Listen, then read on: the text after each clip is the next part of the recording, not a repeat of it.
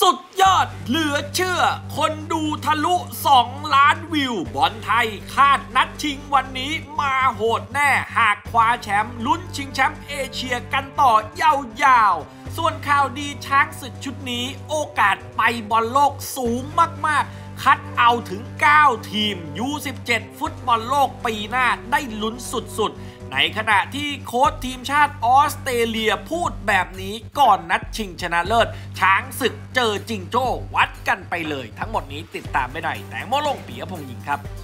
สวัสดีครับแตงโมลงปียพงศ์หญิงวันนี้ครับเรามาติดตามข่าวสารนะครับของฟุตบอลทีมชาติไทยวันนี้นะครับก็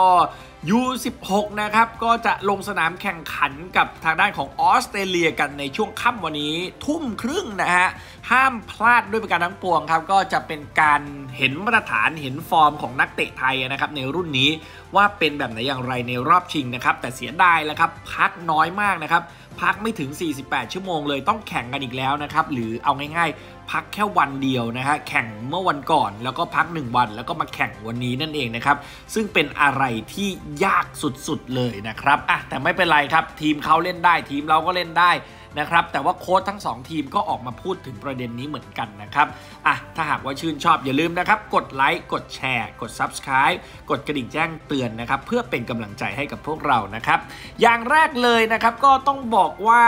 ทีมชาติไทยของเราเนี่ยทุกครั้งที่ลงสนามเนี่ยนะครับโอ้โหช้างศึกเขาเอาสถิติมากลางเลยครับ คนดูทะลุ คนดูแตกครับ 2 ล้านนะครับโอ้โห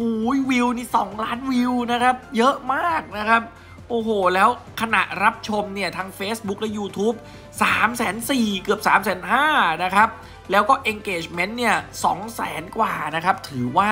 โอ้โห คนดูทะลักก็เลยเป็นที่มาในการถ่ายทอดสดนั่นเองนะครับ ก็ NBT นะครับถ่ายทอดสดในช่วงค่ำวันนี้นะครับ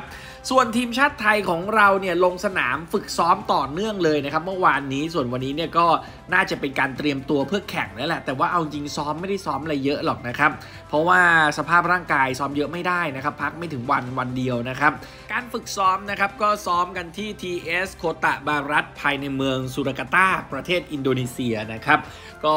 น้องเยาวชน 17 ปีนะครับแข่ง U16 เนี่ยแหละครับเพื่อเตรียมความพร้อมก่อนการแข่งขันอาเซียนนะครับ U16 Championship อินโดนีเซีย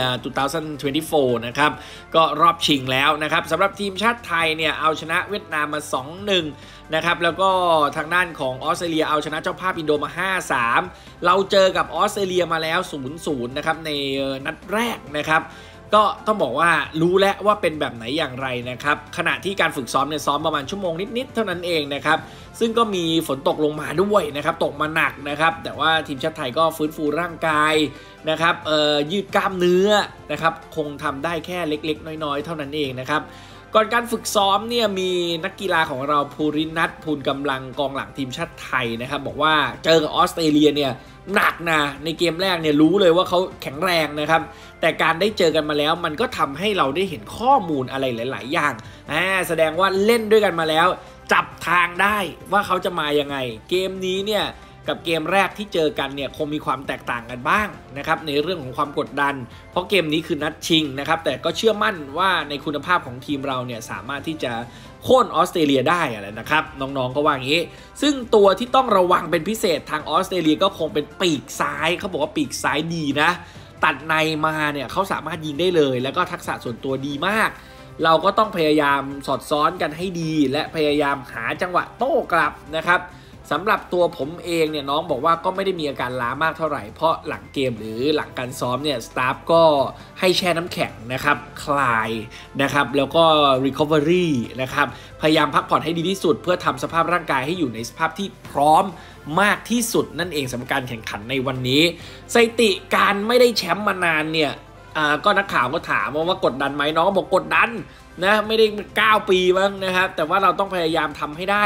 ต้องยอมรับว่าเท่าที่ดูมาออสเตรเลียจะเป็นทีมที่ยากที่สุดในรายการนี้ ยกออสเตรเลียเต็งหนึ่งว่างั้นเถอะนะฮะแรงปะทะก็ดีกว่า เราแรงปะทะเป็นรองนะครับ แต่ว่าเราต้องใช้เหลี่ยมบอลนอกจากนี้ต้องพยายามออกบอลกันให้ดี ฝากแฟนบอลเป็นกำลังใจให้กันด้วยนะครับ ทุกคนก็พยายามทำผลงานออกมาให้ได้ดีที่สุดนั่นเองนะครับ ซึ่งแข่งกันทุ่มครึ่งย้ำกันอีกทีหนึ่งนะครับ NBT นะครับ Facebook YouTube FA Thailand และก็ช้างศึกนั่นเองนะครับ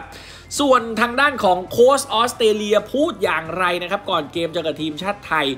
เขาบอกว่าเวลาพักวันเดียวเนี่ยมันน้อยเกินนะครับหลังจากเล่นรอบรองมานะครับแบบนี้เนี่ยโอ้โหเหนื่อยแน่นะครับแบรดลีย์จอห์นมาโลนี่ เขาบอกเขาเครียดนะ เรื่องนี้ตระหนักเลยนะ หลังจากนี้ไปเนี่ยรอบชิงชนะเลิศมันมาแล้ว มันเห็นอยู่รำไรอยู่แล้วนะฮะ สิ่งที่ชัดเจนคือต้องฟื้นฟูยังไง recovery ยังไงนะครับในนัดที่เจอกับอินโดก็เป็นเกมที่ยากมาก ๆสำหรับพวกเขานะครับผู้เล่นทุกคนทุ่มเทเพื่อผลการแข่งขันกับอินโด ใช้แรงไปเยอะเขาจะว่างั้น แล้วก็เจอกับไทยในรอบแรกไปแล้วนะครับก็เสมอกันไปคาดหวังว่าแมตช์นี้จะเป็นแมตช์ที่ยากมากกับไทยนะครับ ซึ่งแบรดมาโลนี่ก็คงจะหมายมั่นปั้นมือว่า จะหาทำทุกวิธีเอามาชนะไทยนะครับซึ่งยังบอกต่อนะครับว่าการที่ได้เจออินโดมาเหมือนเจอแบบยาดีมาแล้ว รู้แล้วว่าไอ้รสชาติแบบอาอาเซียนมันเป็นยังไงนะครับถึงพริกถึงขิงขนาดไหนนะครับ เดี๋ยวได้วัดกับไทย แต่ว่าประเด็นนั้นน่ะมันไม่ไม่ได้กังวลมากเท่ากับการพักผ่อนไม่เพียงพอนั่นเองนะครับ โค้ดวัย 50 กว่าๆเนี่ยยังบอกนะครับ การเอาชนะอินโดเนี่ยมันก็ยากนะฮะ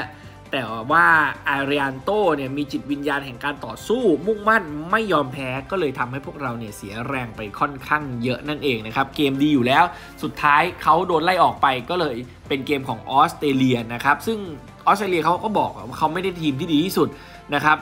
ถ้าพูดจากมุมโค้ชคือการที่เราเปลี่ยนตัวในช่วงครึ่งหลังอาจจะไปช่วย support ในการที่เก็บชัยชนะ 5-3 นะครับผ่านทางด้านของอินโดเข้ามาได้ก็นั่นก็คือขึ้นอยู่กับเรื่องของแท็กติกนั่นเองนะครับ ส่วนต้องบอกเลยนะครับว่าน้องๆในชุดนี้เนี่ยนะครับทำผลงานได้เกินคาดนะสำหรับทีมชาติไทยตอนนี้ เราควรจะเริ่มตั้งเป้าหมายนะครับการไปฟุตบอลโลกนะครับในเยาวชน 17 ปีและ 20 ปีนะครับเพราะว่าการสร้างเยาวชนที่ดีเราเห็นแล้วนะครับว่าเฮ้ยมันไปได้มันต่อยอดได้นานกว่านะครับซึ่งรุ่นนี้เนี่ยใช้ผลงานเนี่ยปิดปากนะครับขาเกียนที่เข้ามาต่อว่าน้องๆตั้งแต่ก่อนไปแล้วไปก็แพ้อาเซียนก็ไม่ได้มีอะไรนะครับ ตอนนี้แข่งไป 4 ชนะ 3 เสมอ 1 ยังไม่แพ้และก็จะชิงชนะเลิศกับออสเตรเลียค่ำวันนี้นะครับ และที่สำคัญนะครับ ต้องบอกเลยครับว่า U17 เนี่ยแข่งนะฮะรอบสุดท้ายชิงแชมป์เอเชีย เราก็ต้องมองไปแล้วนะครับ3-20 เมษาปีหน้านะครับแข่งที่ซาอุมีทั้งหมด 16 ทีมนะครับถ้าหากทีมชาติไทยผ่านเข้ารอบสุดท้ายได้ ก็จะได้เป็นทีมวางในโถที่ 2 เนื่องจากผลงานคราวที่แล้วทำได้ดี นะครับเข้าถึงรอบ 8 ทีมสุดท้ายนั่นเองการอยู่โถ 2 ก็ทำให้เราเจอทีมที่ไม่ได้ยากมากทุกทีมนั่นเองนะครับแล้วก็ทีมชาติไทยอาจจะได้สิทธิ์ไปแข่งฟุตบอลโลกโอ้โหแบบนี้มันนะครับแต่ก่อนอื่นเลยก็ต้องบอกนะฮะก่อนจะไปฟุตบอลโลกได้ ก่อนจะไปชิงแชมป์เอเชียได้เนี่ยสุดท้ายแล้วเราต้องมาคัดเลือกชิงแชมป์เอเชียกันก่อน นะครับสำหรับการแข่งขันในรุ่นนี้นะครับ ก็ต้องขอขอบคุณข้อมูลจากข้อมูลสถิติฟุตบอลทีมชาติไทยด้วยนะครับ ซึ่งบอกเอาไว้ชัดเจนอยู่แล้วนะครับว่า 23 ตุลา 25 ตุลา 27 ตุลาไทยต้องเจอเติร์ก บรูไนและอินเดียนั่นเองนะครับ เพื่อนะครับคัดเอาแชมป์กลุ่มและอันดับ 2 ที่ดีที่สุด 5 ทีมจาก 10 กลุ่มเข้ารอบสุดท้าย ไปชิงแชมป์เอเชีย U17 ที่บอกไปนั่นแหละครับ และก็แข่ง